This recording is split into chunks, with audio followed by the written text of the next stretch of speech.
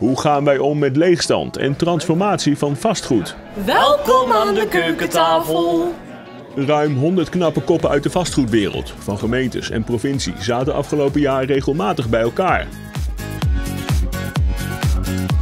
Om geïnspireerd te worden door hoogleraren en kunstenaars en te werken aan een manifest, een handreiking voor beleidsmakers en bestuurders. Iedereen die hier zit, krijgt binnen een jaar of tien technologie in het lichaam die ons gaat waarschuwen in hele vroege fases van kanker. Dus je moet ook bij die pioniersprojecten, wat jullie ook allemaal hebben, moet je mensen om je heen verzamelen die passende risico's durven te nemen.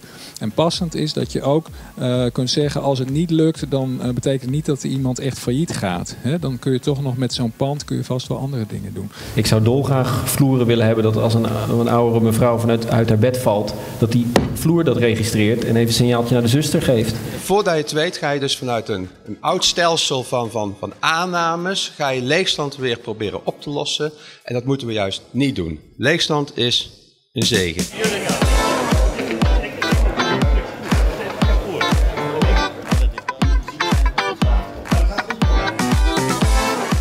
In verschillende bijeenkomsten gingen de deelnemers aan de slag met thema's als geld en funding, kennis en innovatie, netwerk en zelforganisatie en regels en flexibiliteit.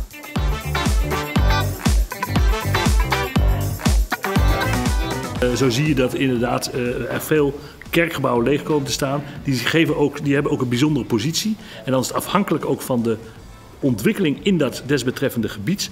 In wat voor kansen dat gebied. En dat is wel heel erg interessant. En er zijn, uh, als je even vanuit de zorg redeneert of vanuit andere uh, uh, mensen die een rugzakje hebben en dergelijke, die willen graag in, het, in de wijk blijven. De kerk staat centraal, zeg maar. En hoe kun je dat soort concepten in die kerken krijgen?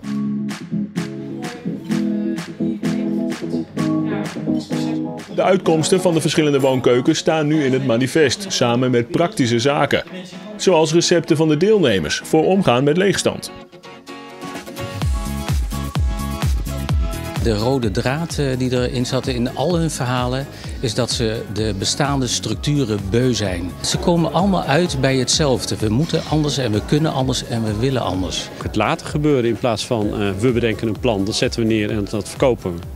Dat moet meer naar hebben we eigenlijk al iemand die iets wil en kunnen we die persoon of die groep of dat bedrijf ondersteunen in die wens. Nou, dat is wel een hele belangrijke kentering die langzamerhand plaatsvindt. De oplossing en het probleem zit soms heel erg dicht tegen elkaar aan. Degene die probleemeigenaar is, is soms ook de, heeft ook de oplossing, alleen hij weet het niet. En dan moet je soms even helpen. In het proeflokaal krijgen experimenten voor transformatie van vastgoed een kans. Erfdelen, uh, gezamenlijk met een kleine groep anderen wonen op een erf, sociaal, duurzaam. Ons idee is om de lappendeken aan tuinen die hier midden in het kernwinkelgebied liggen beschikbaar te maken voor mensen die daar goede ideeën voor hebben.